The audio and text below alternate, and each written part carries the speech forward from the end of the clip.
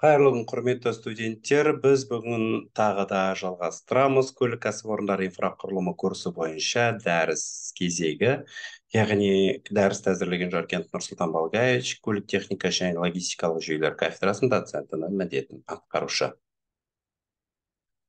Кезекте алтыншы дәріс яғни кәсіпорынның бас жоспарының схемасы. Алдыменен дәріс жоспарына кезек беретін болсақ яғни дәріс кәсіпорын бас жоспарының түсінігі жайында айтамыз.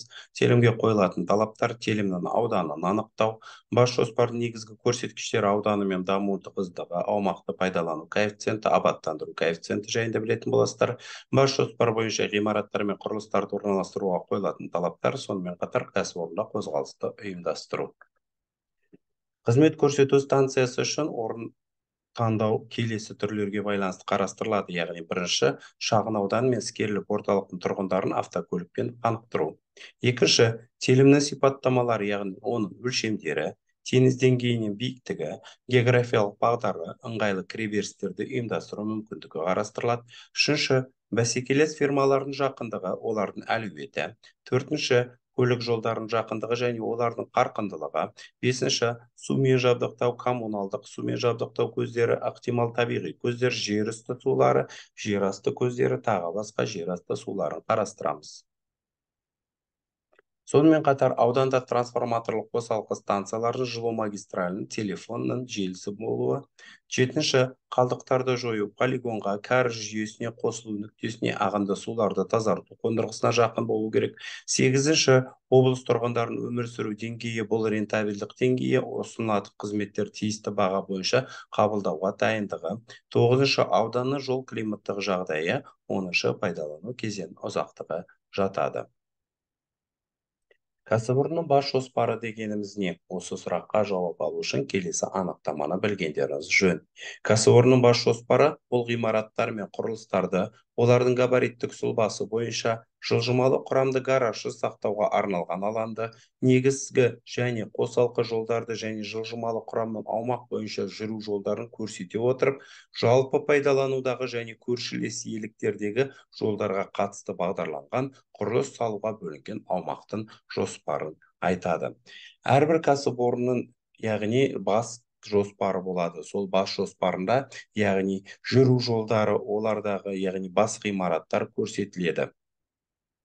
Бас жоспарды құруға қойылатын келесі талаптар бар. Кәсіпорын бас жоспарын жасамас бұрын сізге бірінші не керек?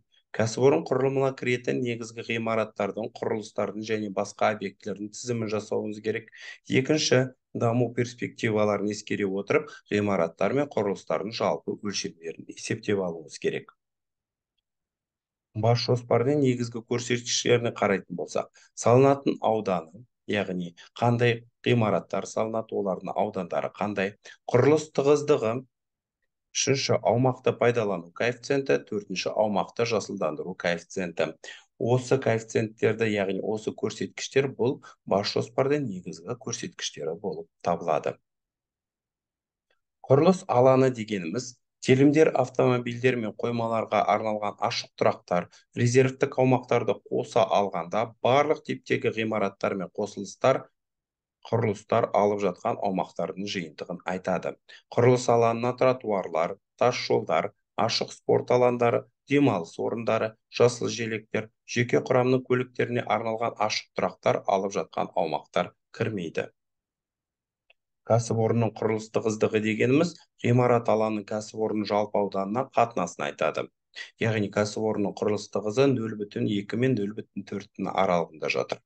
Аумақты пайдалану коэффициенті бұл ғимараттардың ашық алаңдардың жолдардың тротуарлардың және абаттандырудың кәсіпорынның жалпы ауданына қатынасы яғни бұл коэффициентті нөл бүтін төрт пен нөл бүтін алтының аралығында аласыздар жасылдандыру коэффициенті жасыл аумақтар алаңының кәсіпорынның жалпы ауданына қатынасы яғни бұл коэффициент нөл бүтін бір мен нөл бүтін он бестің аралығында.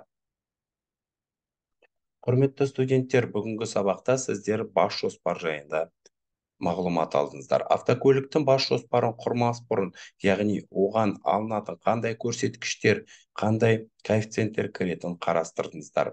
Яғни бас жоспар әрбір кәсіпорынның негізгі төлқұжаты болып табылады. Бұл ә, яғни бұл ә, сызбада схемада сіздер олардың орналасуын ә, жасылдандыру абаттандыру тығыздығын немесе олардың құрылыс тығыздығын көре аласыздар.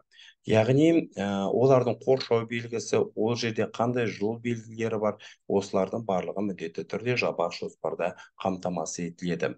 Құрметті студенттер енді бүгінгі өткен тақырып бойынша келесі бақылау сұрақтарына жауап берсеңіздер деймін. Бірінші сұрақ. Кәсіпорынның бас жоспары дегеніміз не? Яғни осы сұраққа жауап берсеңіздер екінші бас жоспардың негізгі параметрлер көрсеткіштерін атап кетсеңіздер. Құрметті студенттер бүгінгі дәрісте алған білімдеріңізді толықтай отыра осы сұрақтарға жауап ала отыра сіздер бүгінгі дәрісті бекіте аласыздар. Құрметті студенттер ә, бас жоспарды негізгі параметрлерін ара отыра яғни автокад жүйесінде бас жоспарды салуды ұсынамын. Бас жоспарды салу практикалық жұмыстарда да кеңінен берілетін болады. Яғни осы бас жоспарды қалай орналастыру керек ол неден тұрады оны ә, қалай саламыз яғни оны қалай орналастырамыз оның барлығын практикалық сабақтарда кейіннен көрсететін боламын. Яғни құрметті студенттер тағы да қосымша түрде яғни біле кететін білгенге маржан дегім келеді. Роза ветров дейді гүл раушаны білгендеріңіз жөн болады. Гүл раушаны дегеніміз не не үшін қажет? деген сұраққа тағы да жауап алсаңыздар болады. Яғни құрметті студенттер бүгінгі тақырып бойынша алған дәрісті ары қарай толықтырамын десеңіздер келесі әдебиеттер тізімін пайдалана отыра толықтыруға болады. Құрметті студенттер көлік кәсіпорындарының инфрақұрылымы пәнінен алған бүгінгі дәрістеріңізді сәтті алдыңыздар деп ойлаймын. Берілген сұрақтарға жауап бере отыра яғни оны бекітуге болады. Құрметті студенттер келесі дәрістерде кездескенше қош сау болыңыздар дегім келеді.